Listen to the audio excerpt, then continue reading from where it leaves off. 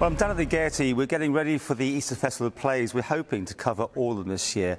Uh, Bejou Productions is the first one up, and literally we are here every morning while you're setting up. David, uh, David, taking part in this one. Um, is it challenging to be the first first class on your? Well, actually, we, we choose to be the first one. yes. Is that because you have time limitation or what? Uh, no, not really. We, uh, we, we get to sort of uh, arrive early, so we get to see all the produc- all the other productions. Um, and usually, if you arrive in the middle of the week, you miss the first two or three. and also, it's nice to open the festival. So, yeah. Tell us about the play.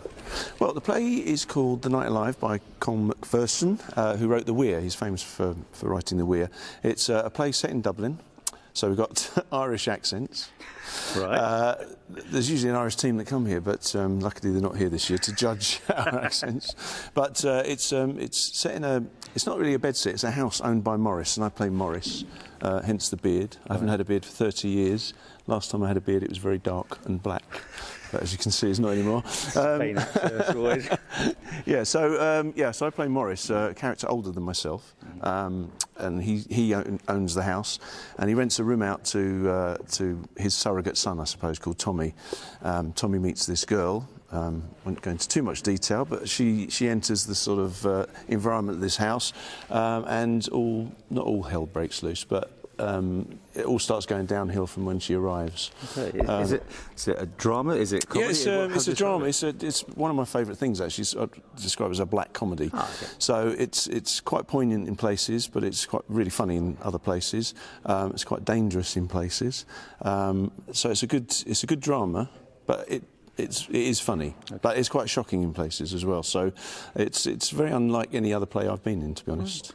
Now, Gaiety, you've been here obviously before. but Yeah, we have. Yeah, the- it was like beautiful. Yeah, yeah. When we arrived this morning, the curtains were closed, and as we walked from the back of the stage down, the chap over there opened them, and it sort of revealed Yeah. this beautiful uh, auditorium. Yeah.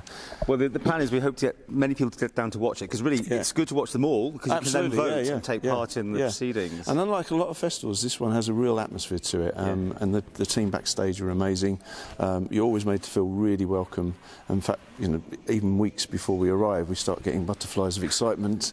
Um, and some of us flew, some of us came by ferry, but as soon as you arrive off the boat or the, the Yeah. plane, there's that feeling of like, we're here. What's It's- it like to be critiqued though about the work? You know, just instead of just putting a play on, you're actually going to get the feedback, you get the results. Yeah, I mean that's that's that's um, it, it's it's nice, but it's also uh, not nice. Yeah. Um, you know, when you're performing, it's quite nice just to perform and the audience to enjoy it. So to actually get somebody criti- you know critiquing your performance is for me quite unusual and quite.